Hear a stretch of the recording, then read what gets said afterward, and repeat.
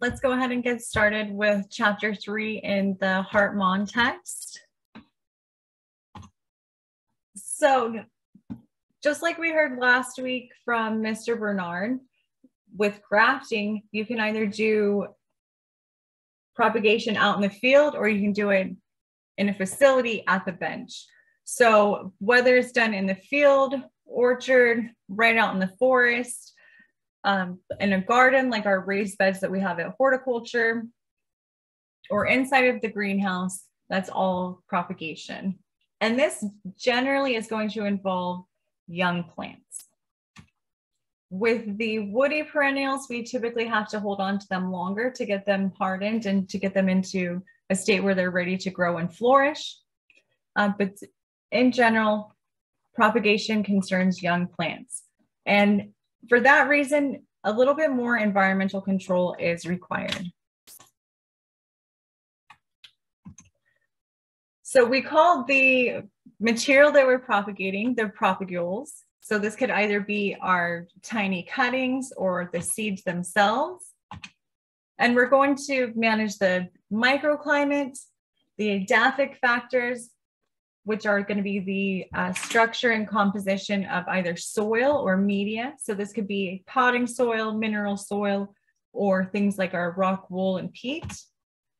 And then biotic factors as well, uh, concerning pest and pathogens in particular. Okay, so I love uh, this flow chart that we have here with the plant, it looks very, very simple. And then we have a really long list of things to think about here. So in terms of the atmospheric factors, we want to have light that is of the uh, right quality. So it needs to fall within the right spectrum, as well as sufficient quantity or intensity. For propagation, our temperature is typically going to be between 75 and 80 if we're using bottom heat. We also want to consider gas exchange. So here they have atmospheric involving gas exchange, but you'll also notice that gas exchange with oxygen is also in included below ground under the edaphic factors. So carbon dioxide can have a fertilizing effect, and this is important for young plants as well as for our larger mature plants. We want to uh, control ethylene. Ethylene is responsible for ripening.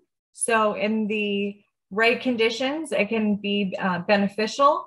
However, if you have uh, plants that are dying inside of a dome, those that are senescing and um, you see that the leaves are falling off and abscising, most likely there's going to be accumulation of ethylene inside of the dome for that tray. And since ethylene is a gas, that could potentially ruin uh, the rest of the tray. All right, and we also want to control water, especially in the form of vapor, right, or fog, in terms of humidity.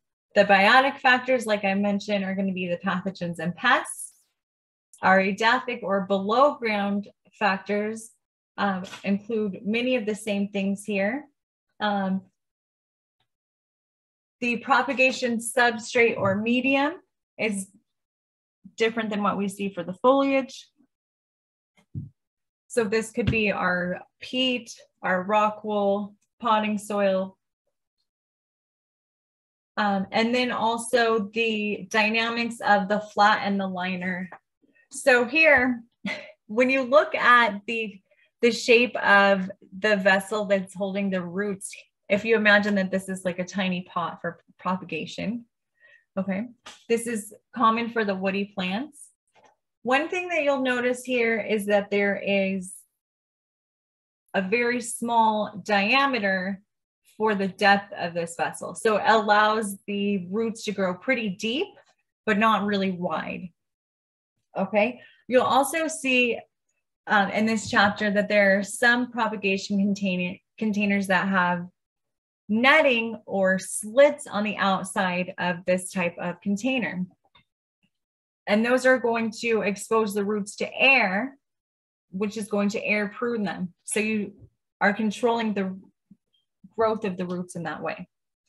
Um, other than that, let's see, we can also consider the different types of trays that you can use. So remember on the first day, I showed you guys that there are uh, propagation trays that have only tiny slits on the bottom. So those are gonna allow for drainage so that you manage to have good gas exchange and some oxygen in the bottom of the tray. It doesn't become anaerobic.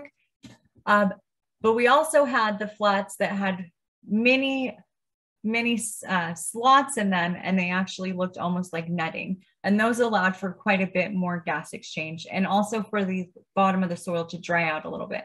Okay, so the way that uh, they described it here sounds a little bit complicated, but it's really just simply, you know, how is the plant interacting with the plastic containers and the flats.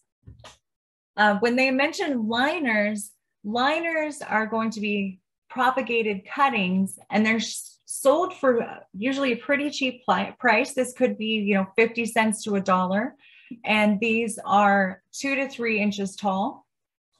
Okay. And typically when they're sold to the nursery, the nursery will grow them up a little bit bigger. Um, or sometimes unrooted liners are sold and, you know, the customer will root them themselves. All right. So also under biotic here, considering the below ground factors, we have some beneficial bacteria and mycorrhizal fungi, things like plant growth promoting bacteria, but we could also have weed seeds that can germinate uh, from our substrate or our potting soil, as well as pathogens or pests like root aphids or nematodes. So we want to try and control all of these things about this little plant.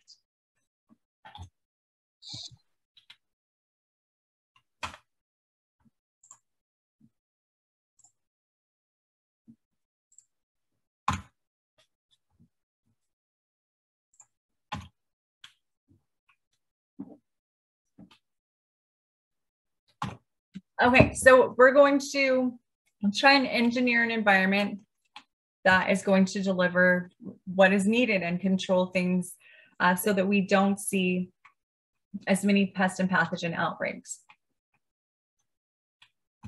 Okay, so we can consider about light things like irradiance. That's going to be the light intensity, the day length or the photo period, which means how long out of the day we leave the lights on, and then also the light quality, referring to the color of the light.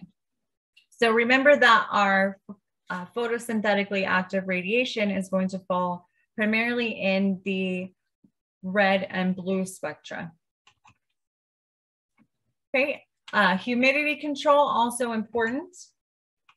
Temperature, I mentioned briefly. And then also mineral nutrition. So for today, I will go just about right up to mineral nutrition and we'll talk about mineral nutrition next week. Okay, so here we have a couple of different heating systems, starting with the gas fire radiant heater, which you can see is uh, running across the top of the truss here. And this figure on the uh, far left, I should say, on the top left. Uh, we have a forced air heating system, which is actually blowing and forcing the hot air into the environment. Uh, this is a, on the lower right at C, a greenhouse that is equipped with its own hot water boilers. And on D here, we can see potentially where that hot water is headed, which is for below the bench heating. So we can see in this chapter, there are some examples of just heating below the bench, how this is shown, and then also actually in the root zone.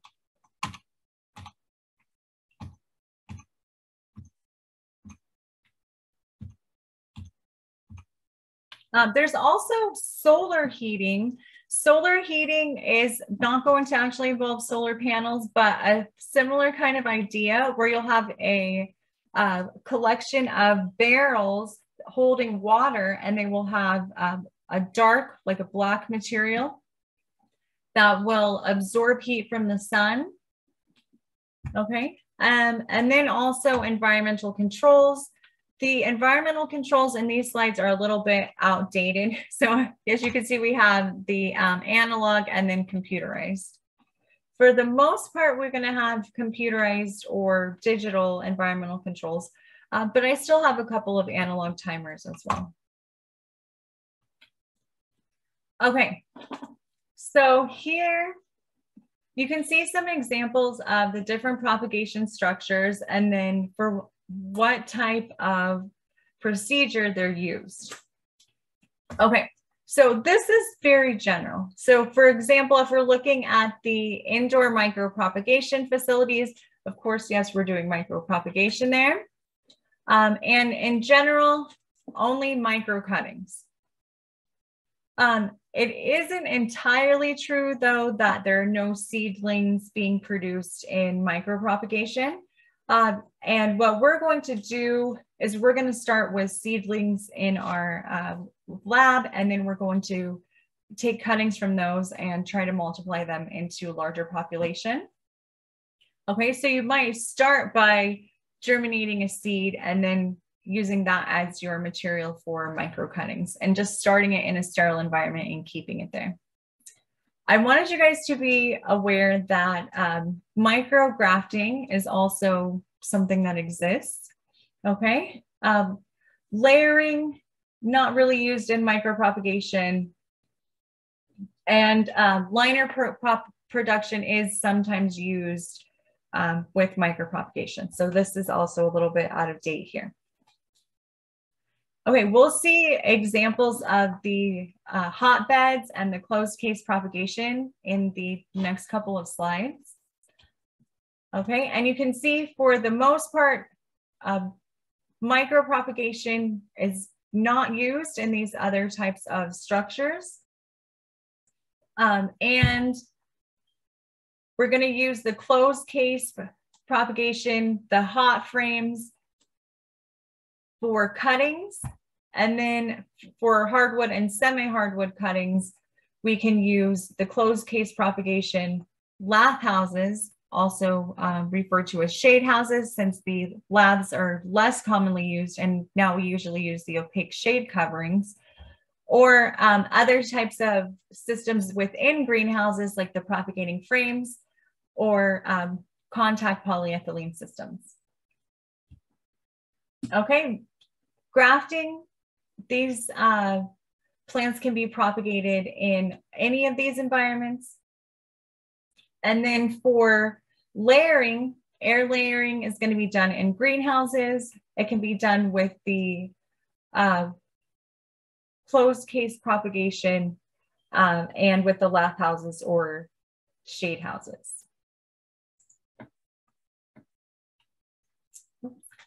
Okay, and then any of these can be used for uh, liner production and for the acclimatization that's needed after the liners are rooted, uh, but especially the lath houses or shade houses. Those are going to be used most extensively.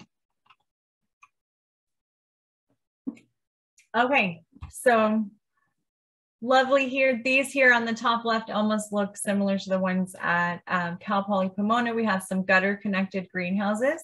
So you can see, you know, they share a wall in between, and then they also have this uh, gutter that's running in between them. Um, and the one here on B on the top is an example of the gutter connect bow house. Uh, so when it says non-load carrying, this is typically going to refer to uh, if you have snow in your area, because you can get quite a bit of weight on top of the greenhouse and it can collapse. So if you need the roof to be uh, load bearing, then the gutter connect truss house example that's on the bottom of B would be a better choice. And here we can see what they actually look like also. C for the uh, cross tie, and then on D, we actually have the truss house. Okay, um, there's a couple of different types of benching. So here we have um, some movable benches. This is under C, where you can see that these uh, large benches inside the greenhouse can move from one side to the other. This can help to maximize the space because you can, um, instead of leaving a large aisle open just in one place, you can roll everything over to one side. You can change the position of the aisle um, and get into where you need to work. Let's see, we also have an example um, where they have simply put all of the plants on the, the floor. And then um, here on the end where the plants are being moved out into full sun conditions. Okay, so passive ventilation or retractable roof greenhouses have become pretty uh, popular because this allows for the heat to be released into the environment instead of kept in the greenhouse. Okay, and then um, we also have an example with uh, thermal curtains. So it's a little bit difficult to see, but if you look at the black arrow here on D, you can see that there are thermal curtains um, that are going to help with heat, both in terms of blocking it out during the summer and then trapping it within the greenhouse so that it stays warm during the winter. Okay, so here we have a polyethylene coated greenhouse, one of the more low cost and simple ones. Um, so they're talking here about media beds that have been sterilized with methyl bromide. Uh, methyl bromide is a fumigant that is um, very toxic. It's useful, especially for killing weed seeds. In California, it's only allowed in research settings. It's not allowed in production uh, because it has been, for the most part, phased out. Um, and this would be done when the workers were not present because it is very toxic. So these guys are coming in after the fact and um, they're transferring the uh, cuttings into rooting floor beds. So they're actually coming in and just sticking the cuttings that are unrooted right into these uh, media floors. So it's actually pretty cool, minus the methyl bromide. Okay, and then we can see um, that they have uh, mist propagation and we can see the crop as it's moving along as well. Okay, so speaking of movable benches, there are also movable bench systems that are um, automated or use hydraulic lifts. Oh, and this is the one where they actually have the um, plants on the propagation house floor. Uh, and as you can see, there's uh, some overhead nozzles here on D. Those are providing the intermittent mist. Um, the intermittent mist is going to help to uh, keep the propagation environment humid. Um, and it also potentially has the effect of washing off spores of fungi this is a little bit controversial because some people also say that it would promote fungi to have such a wet environment. However, the intermittent mist is commonly used in uh, large scale propagation in greenhouses. And this is kind of similar to what you would do if you guys ever uh, are making clones and then you uh, go and just spray with a spray bottle. This is just on a larger scale.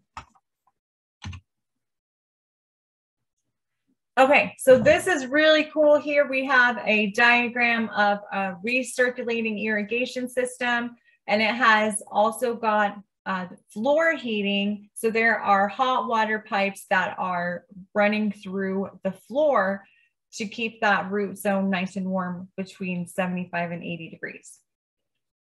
Uh, so here, here's where the plants are growing in the greenhouse. This kind of looks, maybe that's a gutter connected greenhouse. Okay, so we have our irrigation water that's uh, running across the, the trays or the benches. Okay, and then we have the pipes with the hot water going through the floor. Um, the tank refill is coming from over here on the right. So that would be like the original water and nutrient solution. Okay, but after the water circulates through the greenhouse, it's being returned here to the uh, water tank for the heater, which interest, interestingly seems to be going through. Um, also, here we have filter for return to the fertilizer tank. Um, so this is useful because it allows the water and the nutrients to be uh, recycled instead of being discarded. Um, I also thought it was interesting that in the chapter they did talk about chlorine as a sterilant. And um, they talked about it not just in the way that we were using it for foliage with our propagation of woody cuttings, but they also talked about um, the chlorine being used in the water systems to control algae and um, fungi in the water, the irrigation water itself.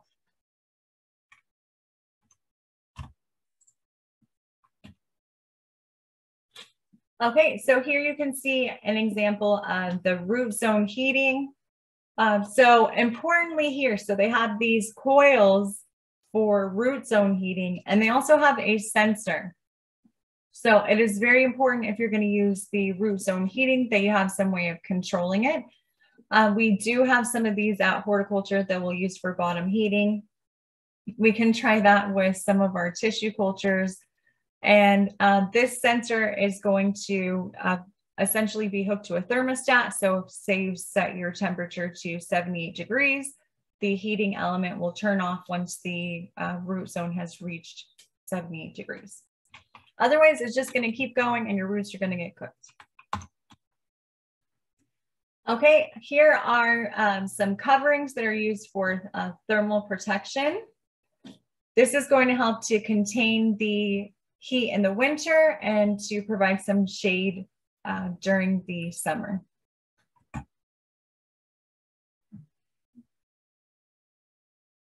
All right, so on B, you can actually see the detail. It almost reminds me of like a radial tire. Um, they, they have a polyester fabric here that's aluminized. So it looks like, you know, through the fibers, there's some aluminum that's been woven through it. And um, looks relatively thick to me. However, it still allows for 46% light transmission. And this is going to go over the regular polyethylene covering. So it's going to be applied over it from the outside. Okay, another option for shade is going to be to use a shade cloth. You I've seen that at horticulture, we have the black opaque shade cloths. Um, here, they're using a red shade cloth. And I thought this was really interesting. This is specific for propagation and rooting. And the red shade cloth is actually going to help the roots to begin coming out and also to uh, develop as well. So here we're going to get more red spectra and less blue and green when the red shade cloth is used. Okay, so this is a little bit more high tech. It's also going to be a little more energy efficient using the polycarbonate covered greenhouse because it's going to lose less heat. Um,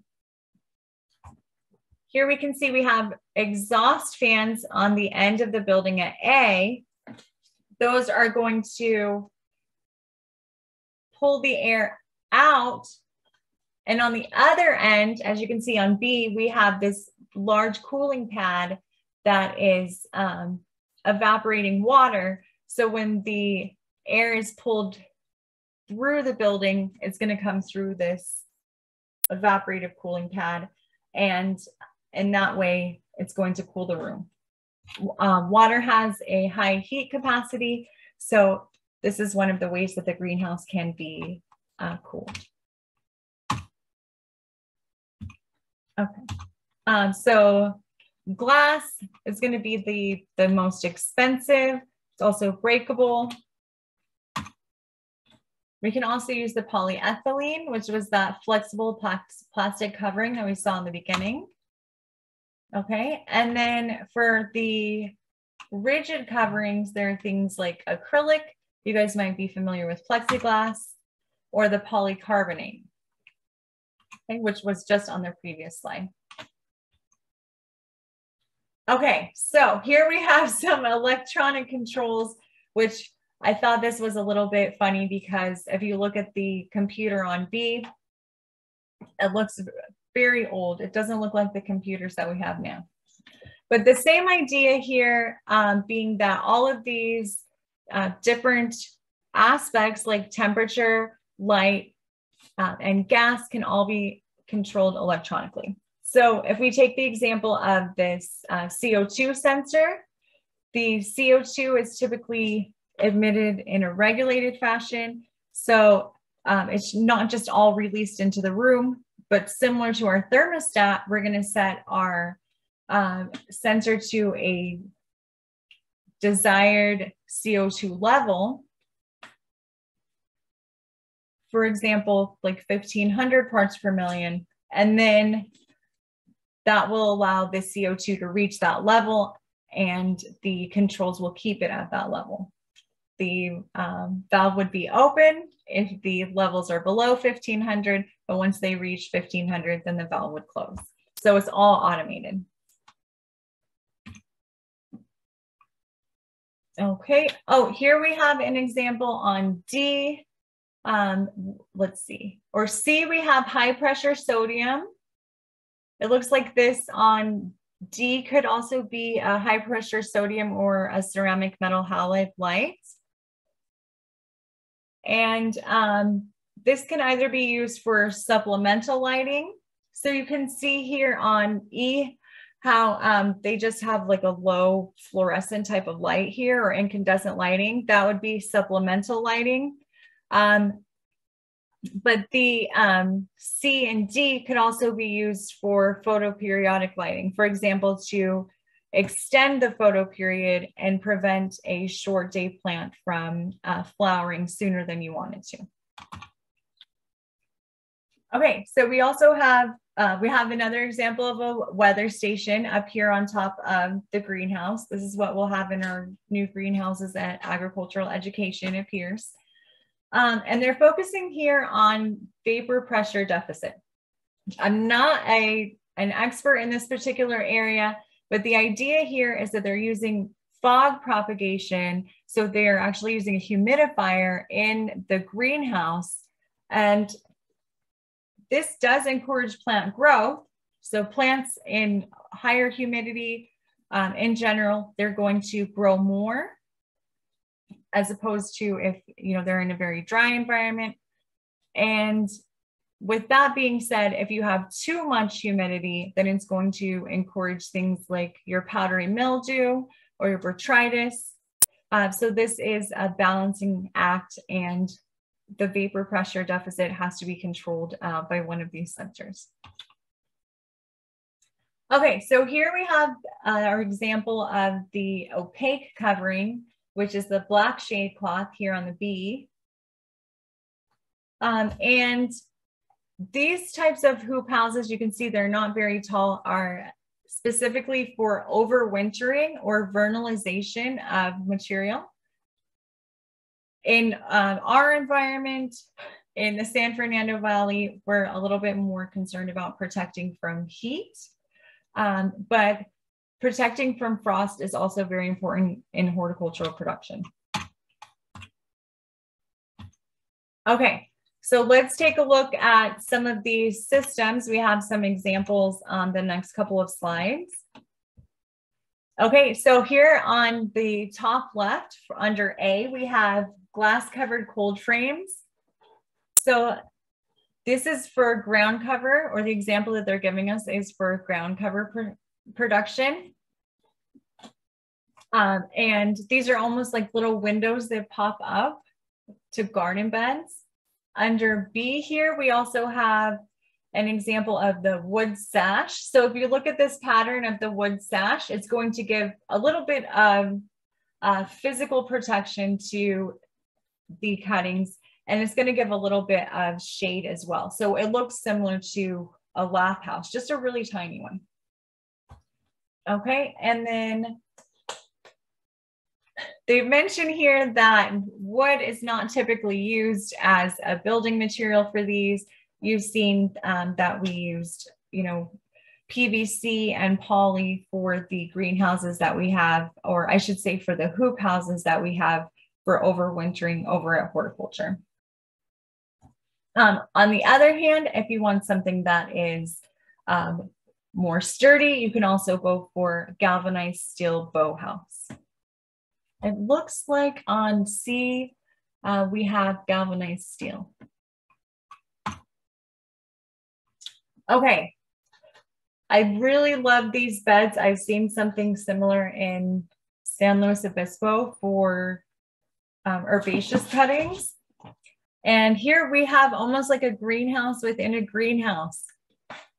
And uh, what we're looking at here is we have all of these liners that are in here for rooting and they're all tucked into protective co covering. So instead of having just one little tray with a dome, now we have an entire bench. You know, maybe this is something like 30 feet long um, that is covered with this poly uh, material. Okay, sometimes we'll also have intermittent mist that happens underneath the coverings. Okay, and gradually as these are being hardened off and they get closer to being ready to ship out, they'll be vented. So you can see here where you have on B, where the side of the uh, covering has been lifted up. Okay, so it's partially vented. That would be like on our little domes if we open them just halfway. Okay, and then you can see on C where there's some rows that are uh, a little bit ahead. So maybe those are two weeks ahead of the others and the covering has already been removed.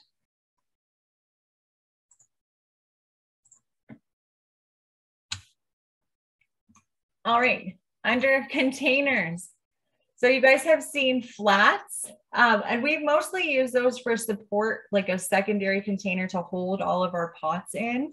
Um, but you also saw that um, in the previous slide, sometimes the flats are directly sown with seeds or directly stuck with the liners that are going to be uh, rooted. Okay, of course, there are plastic pots. There are also alternatives though, and there was some attention put toward this in the book because you know plastic pots may not be the most environmentally friendly. You've seen that we reuse them and wash them, and you know that is somewhat of a pain Fiber pots are nice because they are a natural instead of a synthetic material, and they also could be washed a different way, like in a, a washing machine. Um, paper pots can be made from recycled paper. Those are useful, especially in propagation where we don't need to keep them for very long. Okay, um, other materials are going to include peat, coco fiber, uh, expanded foam like the Oasis cubes and also the Rockwool blocks. Okay, there are also um, larger growing containers that are plastic, like our one gallons or three gallons. Then it's not as popular in the United States, but we do actually have some of these at horticulture. There are some polyethylene bags, so we'll use them they're like little black bags, almost like the black trash bags, but they're small to use for little pots. Um, and we'll use them when we're out of everything, sort of just in a pinch. They're very low cost. Okay, wooden containers. I think we have a slide on this coming up. Those are going to be more useful for the uh, large plants when we're talking about like an eight to 10 year old tree. Okay, great. So here we can see a paper pot system. And it looks like here they're actually making their own mix and their own pots uh, with this machine. So um, here they're taking their liners and direct rooting them. And look how tiny these little cuttings are that they're using. So this, um, these are actually just regular liners but it, to me, it almost resembles what you'd see for the direct sticking in the ex vitro um, micropropagation. So taking plants from tissue culture and sticking them in the paper plots, they might be about the same size. Okay, it says peat-lite media. We will talk about peat-lite next week. Um, they've given us some recipes, so that's really helpful um, if you want to save a little bit of money. All right, so you can see these are in the paper sleeve tube. Um, you can see also that they're well rooted. These are poinsettia.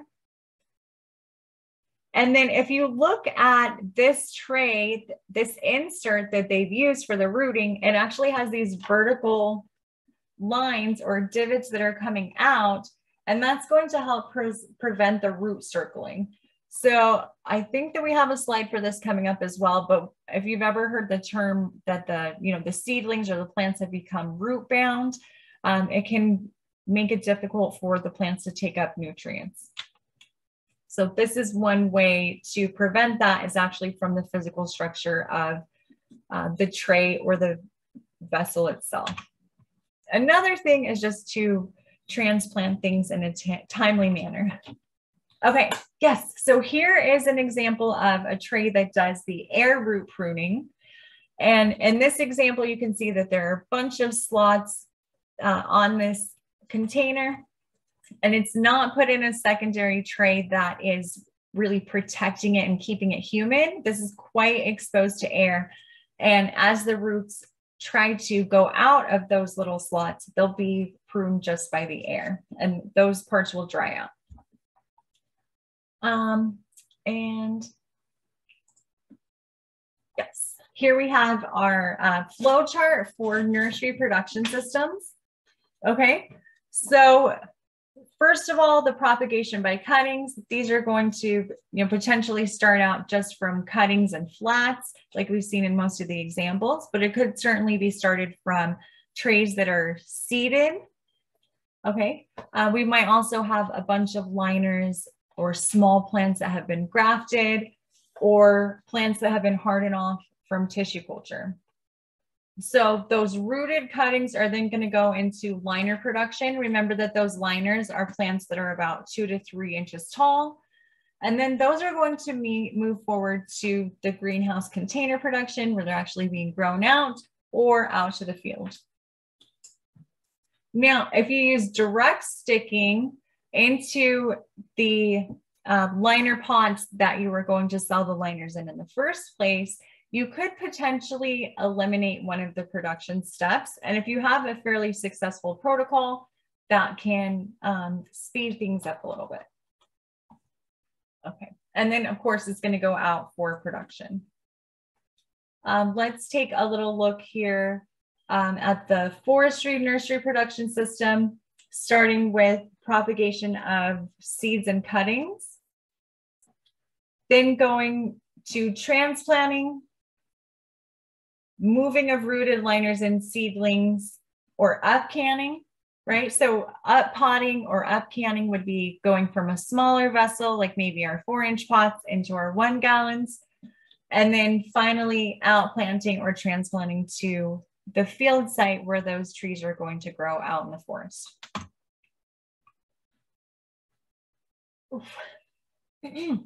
okay, so here we have a sheet this is on A where they're talking about the propagation sheet.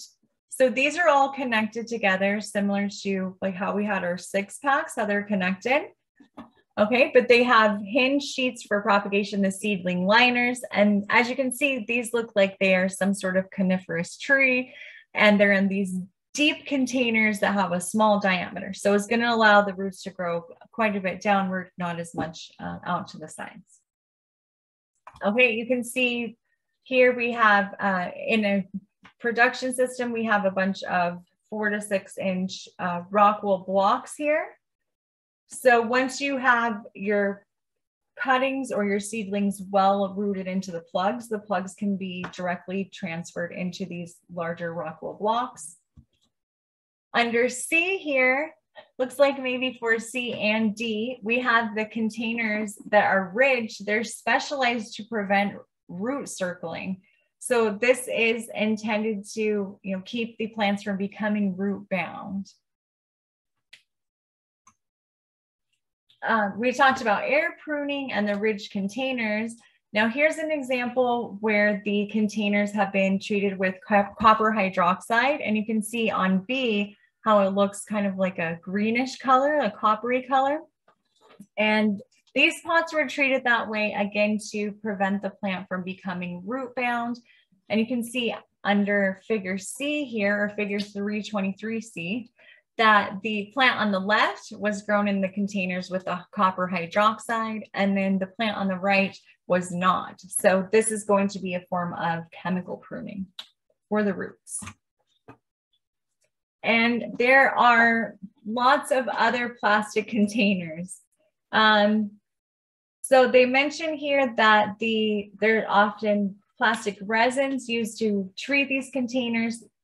The biggest problem is um, that if you leave these out in the sun for a long time, of course, we're growing our plants in the sun, that they become oxidized and they can uh, crunch or crumble and uh, can't be reused uh, indefinitely. That's the same issue with these poly bags. Here's a poly bag on the right, like the ones that I were talking about, or I was talking about.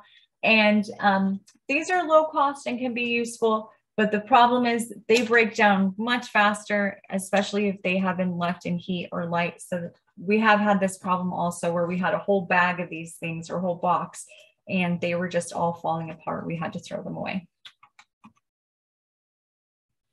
Okay, there's also some interesting sort of hybrid container field methods that are used, especially for tree production in nurseries.